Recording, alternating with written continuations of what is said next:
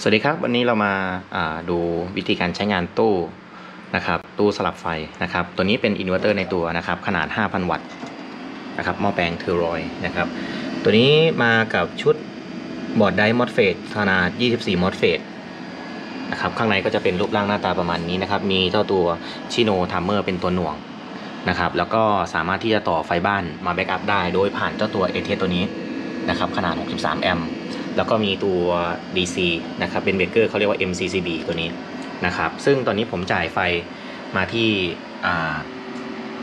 52 โวลต์กินกระแส standby อยู่ที่ 4 0.4 แอมป์นะครับก็คือประมาณ 400 มิลลิแอมป์นะครับอันนี้ก็ wiring สายมาพร้อมไฟสถานะนะครับแล้วก็มิเตอร์นะครับที่เป็นมิเตอร์ output ฝั่งนี้นะครับตอนนี้ผมก็จะต่อมีต่อที่เป็นอันนี้เป็น AC นะฮะฝั่งซ้ายมือจะเป็น AC ผมก็ต่อมาแล้วก็เข้าด้วยไฟบ้านเปิดมาแล้วนะครับ แต่ที่ใช้อยู่ตอนนี้นะครับสถานะก็คือเป็นของไฟจากอินเวอร์เตอร์นะครับเป็นไฟสีเขียวนะครับ ส่วนไฟสีส้มตรงนี้นะครับ ก็จะเป็นไฟจากการไฟฟ้านะครับ เดี๋ยวผมจะทดสอบการใช้งานให้ดูนะครับ ว่าใช้งานยังไง ดูนะครับ ตอนนี้ผมเปิดไฟจากการไฟฟ้าเอ่ยจากอินเวอร์เตอร์โอเค ผมเปิดหลอดไฟนี้ด้วยนะครับ เพื่อที่จะให้เห็น load นะครับ เดี๋ยวดูเป็นแสงไฟเอา ถ้าสมมุติว่าแบตเตอรี่เราหมดนะครับ เดี๋ยวผมจะจำลองด้วยการปรับต่ำตัดนะครับ หมุนลงไปเรื่อยๆ ตอนนี้ผมตั้งไว้ที่ 44 โวลต์นะครับ เดี๋ยวผมจะหมุนลงไปเรื่อยๆนะครับ รอดูนะครับ สิ่งที่ต้องดูตอนนี้ก็คืออแสงไฟนะครับ แล้วก็ตัวมิเตอร์นะครับ ว่ามันจะสลับเร็วแค่ไหน อ่า 49 48 ดูช่วงสลับนะครับอ่าโอ เคเรียบร้อยนะครับ อันนี้คือสลับมาแล้วนะครับ ในกรณีที่แบตเตอรี่เราหมดเนี่ยนะครับ เราก็จะได้ใช้ไฟอย่างต่อเนื่องเลยนะครับ ก็คือมันจะสลับมาเป็นไฟของการไฟฟ้านะครับ เจ้าตัวอินเวอร์เตอร์ก็จะดับไป ในกรณีที่มันเป็นต่ำตัดนะครับ อันนี้ก็คือลักษณะการใช้งาน แต่ทีนี้เนี่ย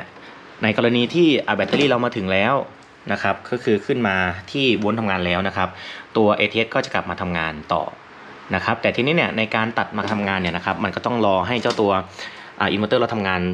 เต็มร้อยก่อน โดยผมจะใช้ตัว SINOTIMER ตัวนี้เป็นตัวหน่วงเวลาไว้นะครับ แต่ตอนนี้ผมไม่ได้ต่อแบตเตอรี่ เวลามันดึงกระแสมันจะดึงมากนะครับ บางทีมันจะไม่ต่อให้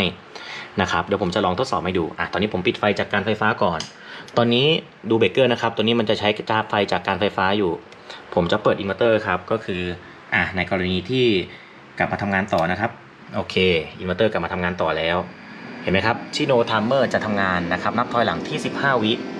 นะครับเพื่อที่จะสลับไฟมาใช้เป็นไฟจากอินเวอร์เตอร์นะครับแต่ตอนนี้มันจะดึงดึงดึงกระแสมากนะครับกระตุกหน่อยนึงนะครับ ก็คือหน่วงไว้ 15 วินะครับเห็นไหมครับตอนนี้ยังมาไม่ถึงเพราะว่า switching ผมจ่ายไม่ถึงนะครับ ก็ไปต่อกับแบตเตอรี่นะครับก็จะใช้งานได้นะฮะตอนนี้ก็ทำงานสองรอบนะครับ พอกลับมาแล้วนะครับ นับถอยหลังอีก 15 วิ นะครับ มันก็จะกลับมาทำงานอีกที โอเค อันนี้คือไฟจากอินเวอร์เตอร์นะครับ ก็ติดปกติเลยนะครับแต่นี้ผมเปิดไฟจากการไฟฟ้าเข้ามา เห็นไหมครับ ไฟจากการไฟฟ้าก็จะมาที่ 229 โวลต์นะครับ โวลต์ตัวนี้มันจะเพี้ยนไปหน่อยนึง อันนี้ไฟจากอินเวอร์เตอร์ครับ 218 แต่ว่า output ครับ output ตอนนี้นะครับที่ออกมาเป็นตัวเลขเลยเนี่ยจะเป็น 223 โวลต์นะครับ ก็คือไฟที่มาจากอินเวอร์เตอร์ข้างใน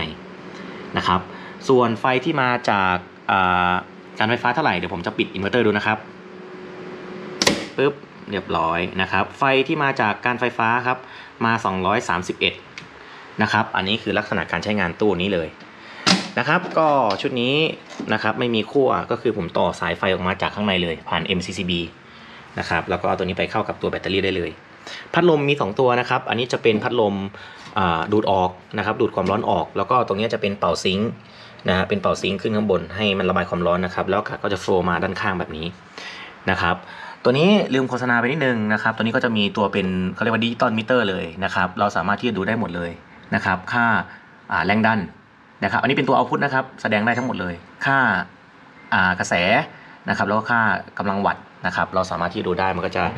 สวิตไปเรื่อยๆ อย่างนี้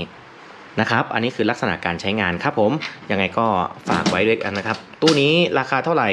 ตัวนี้ครับราคาแพงหน่อยนะครับ เพราะว่าข้างในเป็นอินเวอร์เตอร์ 5,000 วัตต์นะครับ 24 MOSFET นะครับ แล้วก็ชุดสลับเลยนะครับ ชุดนี้ผมตั้งราคาขายที่อ่าชุดนี้นะครับ อยู่ที่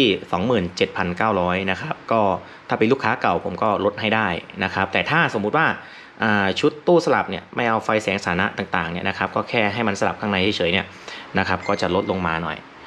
นะครับส่วนราคาพิเศษครับช่วงนี้ครับ ก่อนปีใหม่นะครับก็ราคาเอาไปเลยนะครับ 25,900นะครับโปรโมชั่นครับแค่ 2 ตัวเท่านั้นนะครับแต่ถ้าท่านใดนะครับยังสงสัยอยู่โทรมาถามได้นะครับ หรือว่าจะแอดไลน์มาได้นะครับที่ 0872500566 นะครับ ก็ฝากไว้นะครับคลิปนี้นะครับให้อ่าดูเพียงเท่านี้นะครับถ้ามีข้อสงสัยก็อย่างที่บอกครับแอดไลน์มาได้เลยนะครับก็ยังไงก็ฝากติดตามไว้ด้วยครับ ขอบคุณมากครับ